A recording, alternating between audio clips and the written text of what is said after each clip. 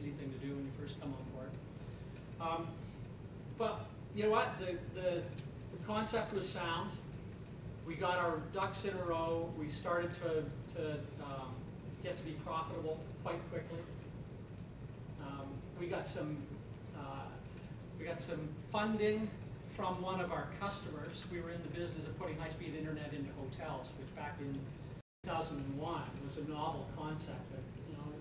Not a lot of people really thought it was something that had a lot of legs. But we did have a few big customers like Marriott and like uh, Fairmont who said, we're prepared to pay you in advance if you can commit the resources to get this installed over the next six months.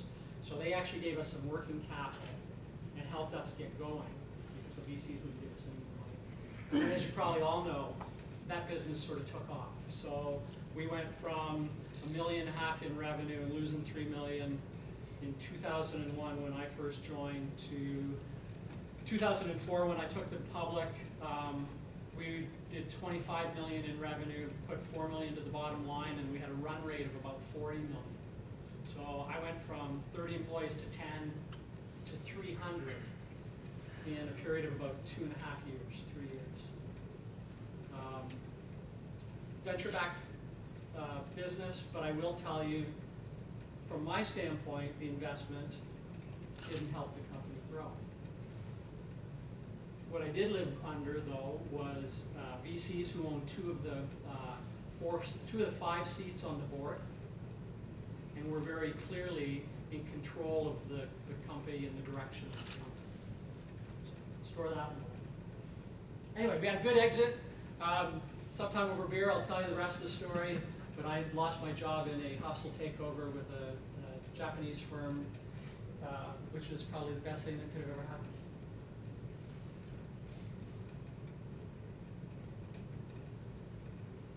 So I did a little bit of consulting, uh, worked out in Salt Lake City, moved down here, um, and I'm going to tell you bits and pieces about a new venture that I've got going called Players Golf Network. And as we start talking about uh, raising capital, I'm just in the midst of raising capital for this new venture now. So I'll, I'll try to use it as a straw man to, to explain where I think some of the value for investing is. And in my spare time, I have a horse farm in Georgetown. That's me. Uh, I didn't want to do that. All right, let's, let's change gears. I did say there's a few things I'm not going to tell you about. Um, I don't think we should talk about uh, businesses that require extraordinary amounts of capital to get going.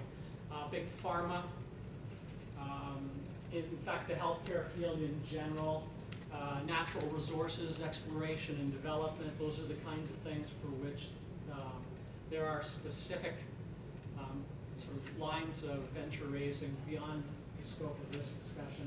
I don't want to spend a lot of time on government funding programs. There are a lot of them out there. I think from a, the standpoint of uh, a bit of a hand up or to augment what you're doing, they're great and you should always seek them out. But I'm also a firm believer that businesses need to be sustainable and you can't rely on government funding to succeed. Also, now I'm going to talk a lot about light, later stage investment, mezzanine funding, um, other types of debt structures, um, IPOs, RTOs, reverse takeovers, PIPEs, which are private investment by public in public entity, and other three-letter and four-letter acronyms. We're just not going to cover those today.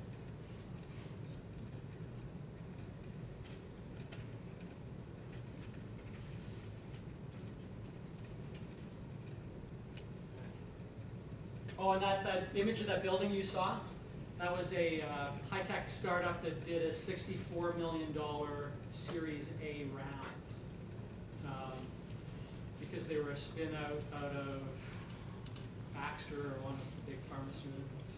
That's beyond the scope of this discussion. Let's talk a common language, just a few definitions. And again, this is where I'd like your input, your thoughts as to whether we're covering the things you want us to cover. Um, angels and VCs, people hear about them all the time. Uh, my definition of an angel typically is someone that spends their own money or invests their own money, and a VC is usually a professional that invests other people's money.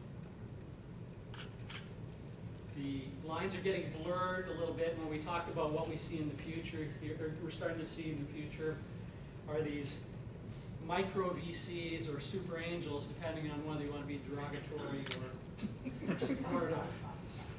The VCs call this new group of super angels micro VCs, trying to push them down.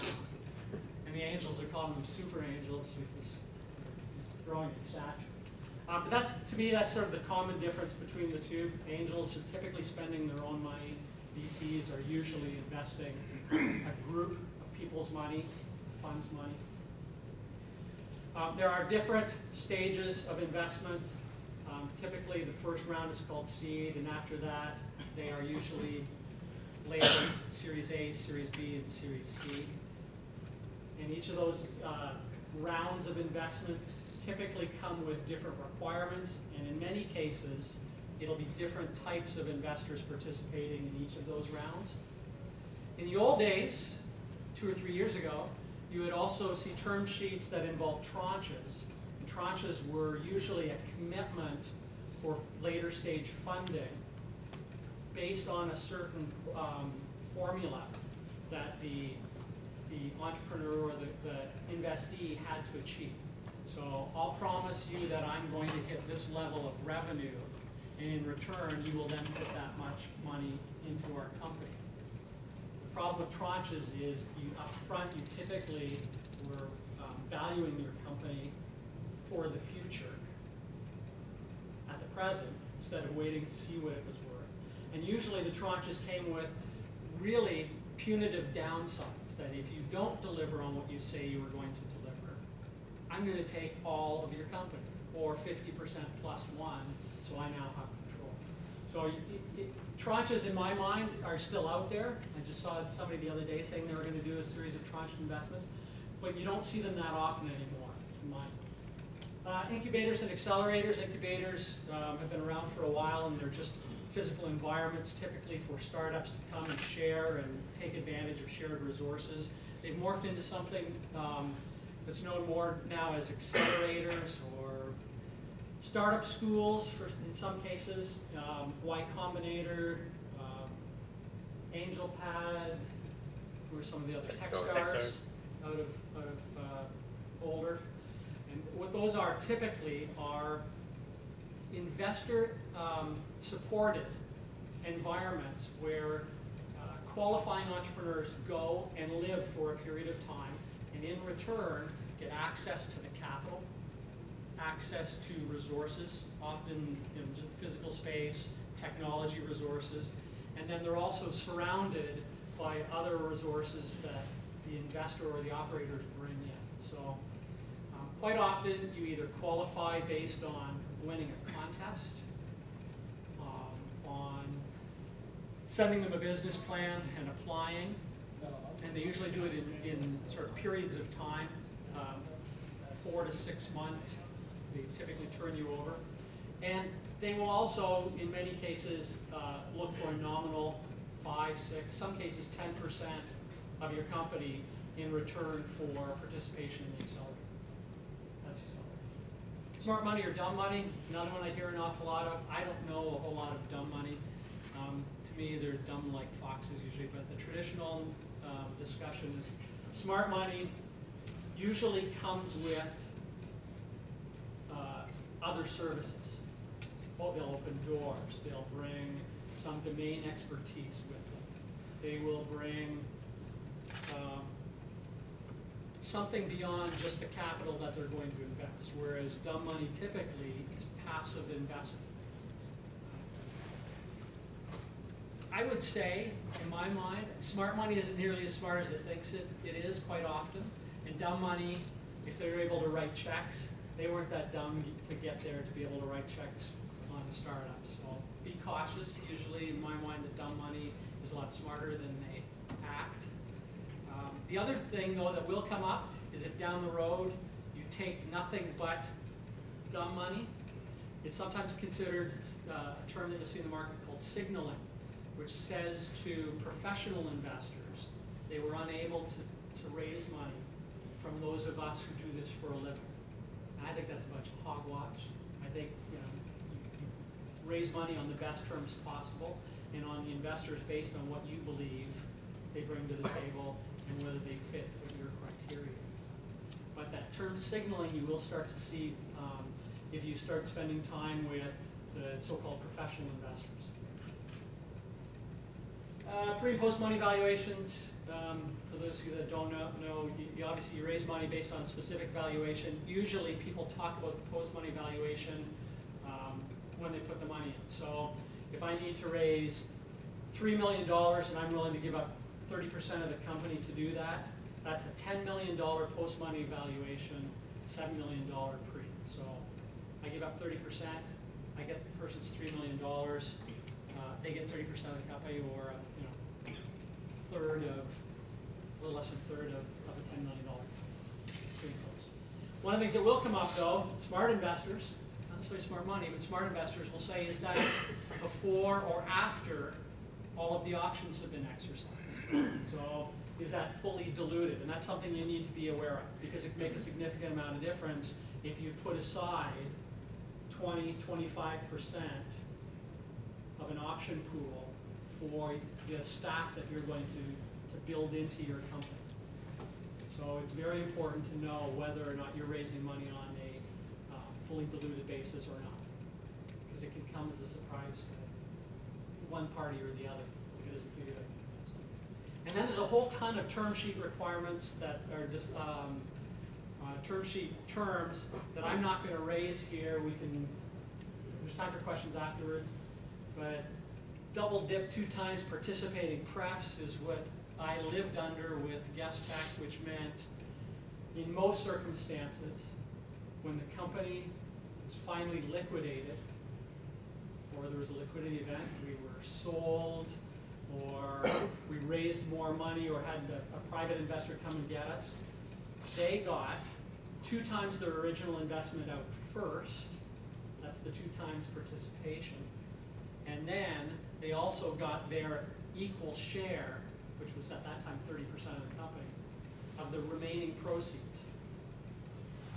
So two times double dip participating prefs. The only time it wouldn't go into effect was if we went public, so we went public.